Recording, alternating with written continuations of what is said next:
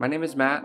Follow along as I turn Duracell, the legendary ocean racing sailboat, into a comfortable cruising home.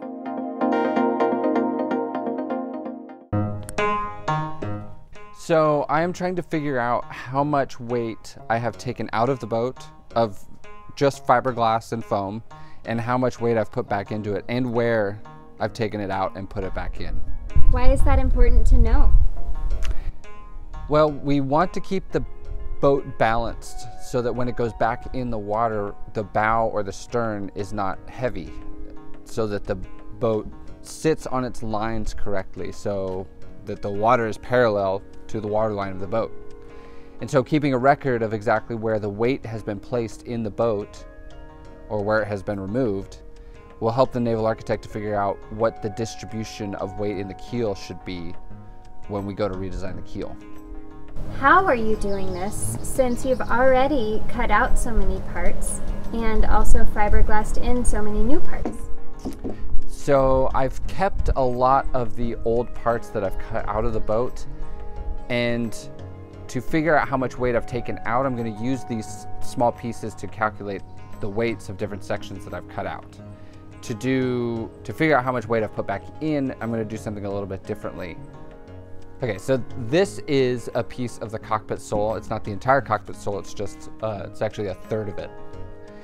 And I know that this piece is 1.6 square meters and it weighs 18.2 kilograms. So I can figure from this that the cockpit sole weighed 11.2 kilograms per square meter that was in the cockpit. And so then from the drawings that I have of the boat, the original drawings, I know that the total area of the cockpit sole was four and a half square meters. So I just multiply that by that 11.2 kilograms per square meter and I figure out that the total cockpit sole weighed 51 and a half kilograms. So that's what I'm gonna do for all the little pieces and parts that I don't have the whole section of that I can't just weigh. I have to kind of calculate exactly what it theoretically weighed.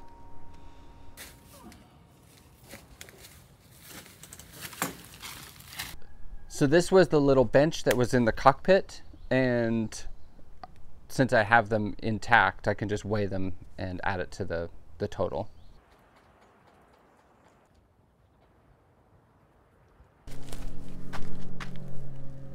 So this is 22.2 kilograms. This is half of the main bulkhead. So we're gonna go grab the other half of it. So this is the other half of the main bulkhead.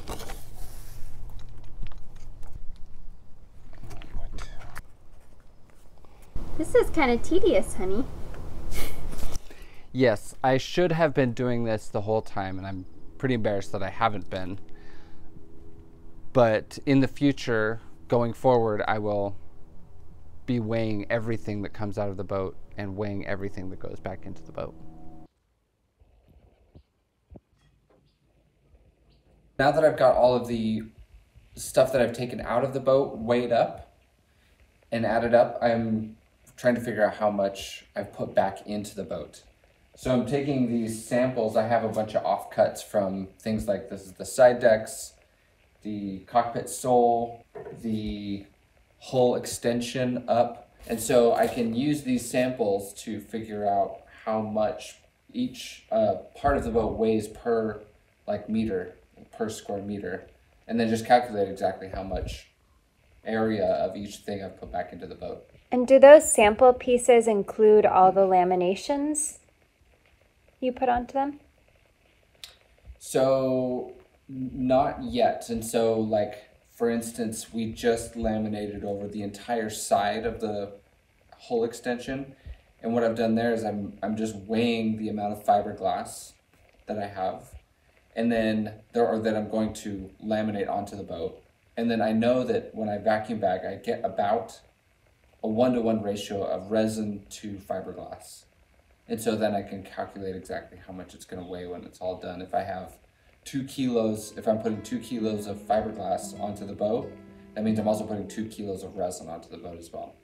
So I'm going to start keeping very close track of exactly how many grams of fiberglass and therefore how many grams of resin I'm putting into the boat.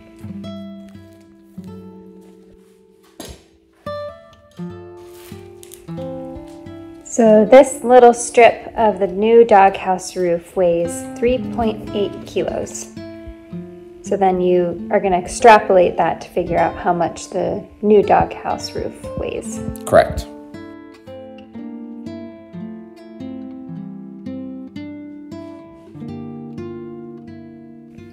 So the new doghouse roof weighs 73 kilos. It's like 150 pounds.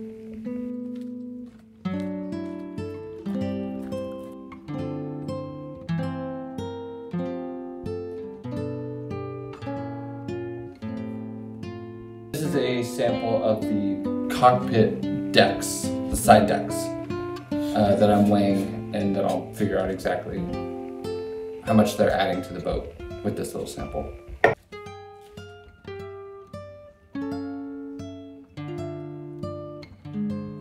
So the side decks came out to 15 and a half kilos. You should have seen that jump. It was like one of those where she, her back like slipped and you go, Thank you very much for everybody for guessing how much weight has been taken into and out of the boat. The winning guess was 99.99 kilograms less now than it was before. And that was by Duckshot Productions, so congratulations to Duckshot. In a close second place was my good friend Don uh, down in Olympia. The correct answer was 107 kilograms or 235 pounds lighter. A couple interesting things that came out of this were that the do- the old doghouse was almost 300 pounds. It was 135 kilograms that was taken out of the boat, which was heavier than I thought it was going to be, and I think it's all in the windows. The new doghouse is currently 145 kilos, so 10 kilos heavier than the old one, and it's not even close to done yet. There's no windows in it. It all it's not taped together. The traveler bulkhead has a lot more fiberglass to go over it, so the whole thing is going to be a lot heavier than the old one is. All in all, the boat will be heavier, and we knew that going into it. I'm trying to keep it as light as possible by doing by using foam and doing vacuum bagging and using epoxy. But all in all, it will be a heavier boat, which is okay. That's what we knew that that would happen. I also wanted to confirm that the hand laid panels were heavier than my vacuum bag panels, and it after I measured everything out, it came out that on average, a hand laid panel was more than a kilogram heavier per square meter than a vacuum bagged panel. Obviously, I'm doing uh, different panels, have different layup schedules based on what I'm using them for. But overall, I'm saving a lot of weight doing the vacuum bagging. Where are we at in the stern modification project now? What's left to do? Give us like the big picture of where we're at. The hardest part is over. We're getting down to details. What's left to do is I have to install the what's what Yanni's calling the inner ears, the swim step, and the this transom has to be taped together, and then the side walls have to be installed. I got these what Yanni are calling the inner ears. They're glued into the boat. They're pieces that were cut from the I think they were cut from the ballast tanks. I've got them glued on already. The they serve a couple purposes. One is they're going to be the aft wall of this compartment, this little locker that will probably uh, have propane tanks in them. But they're more importantly adding structure to this whole area where the chain plates are going to be attached to. So it's just making this whole area a bunch stronger. They're already glued in. I just need to put one layer of 17 ounce biaxial tapes in the edges.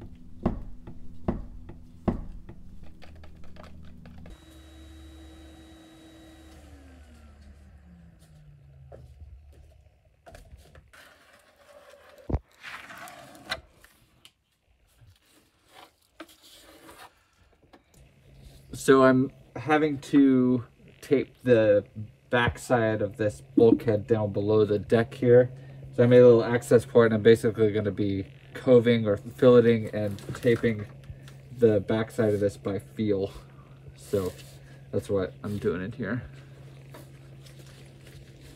Impressive. Luckily, no one will see it.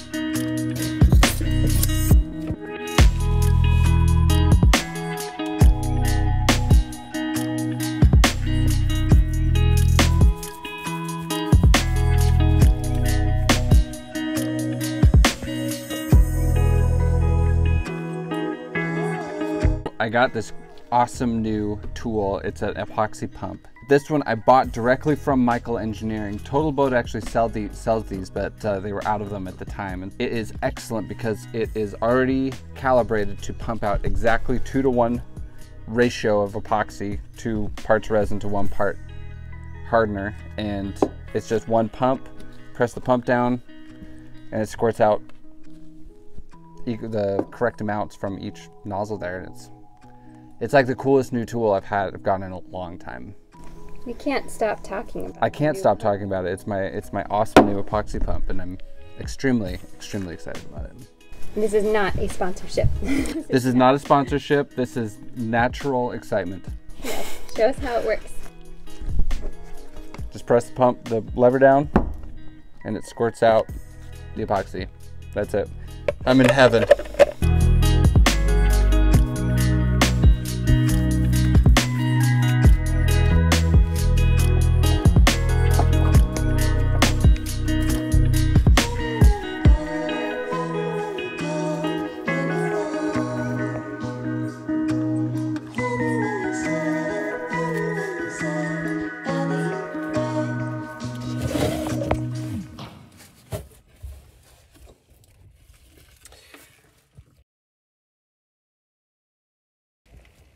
Ply.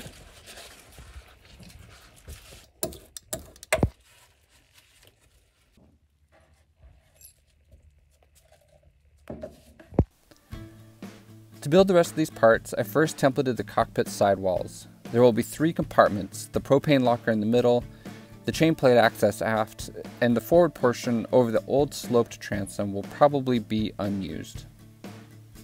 I made another piece of fiberglass foam core flat stock to make the walls.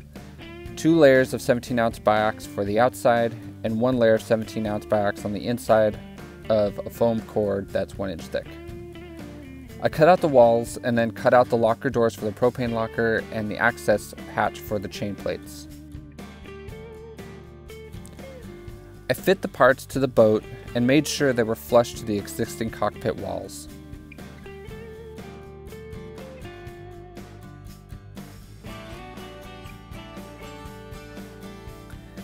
Then I templated the shapes for the diagonal sides of the swim step.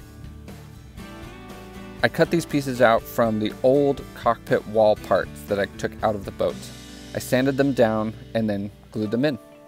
So we've reached an exciting moment because you're gluing in the last piece to the stern modification. Yep.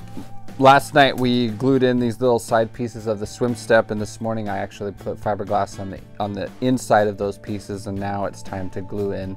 We got one on each side to do, but the cockpit side walls are ready to be glued in. I'm just making thickened epoxy and going around the perimeter. It's going to be glued to these. There's two bulkheads here to be glued to, as well as the transom piece. And so, yeah, it's very exciting.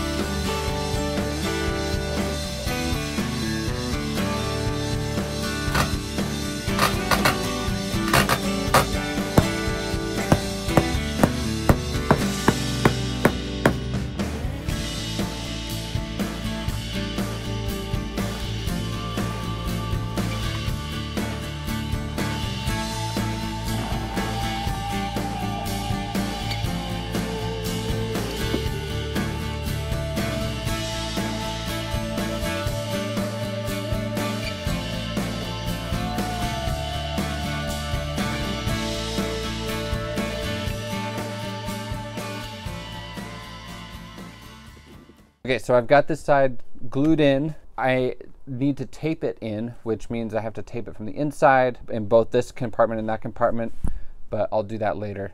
So this is the locker that the propane will fit into. There's a hat. This will just be a fiberglass hatch that will fold down. And as you can see, there's a little tiny drain right here. This is for in case propane were to leak, it could drain out of this little hole. And then also, uh, this access is for is to access the backside of the chain plate. There'll be just like a little pie high threaded hatch that goes in into there. It's very exciting to have this this piece in. So now it's time to go on to the next one. Did you say something about pie? Yeah, these these uh, access hatches that you twist in, they're called pie highs. I like the sound of that.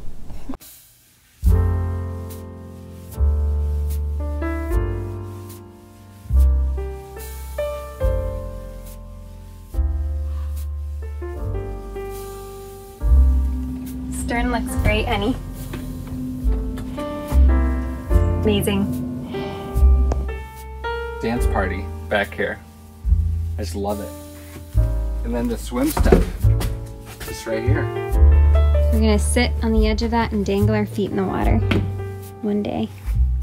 So obviously I'm really happy with how this has turned out. It's not done yet. I still have to trim the edges, these edges around, and tape the cockpit walls to the boat.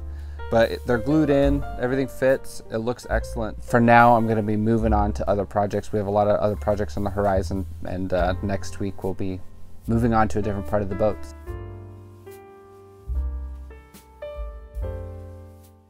We have three new patrons to thank this week. Thank you so much to Jamie and Carolyn in New Zealand. They are getting their Beneteau 473 ready for cruising and they plan to set sail in 2024. Super exciting. Jamie and Carolyn also know our friends Payo and Ava, who actually they're cruising friends. They left Seattle the same day as we did back in 2015. 17. 17 and um, they made it all the way to new zealand where they met jamie and carolyn so small world And thank you to Ken, who's in Cincinnati, Ohio. He has a, a Catalina uh, 25, I think. That's uh, he takes really, really good care of and sails around the lake there. Also gets to go and sail in Florida with his buddies down there sometimes. So thank you again very much, Ken. and finally thank you to Sa- simon who we have not heard back from yet Thank you again, everybody. We'll see you next week.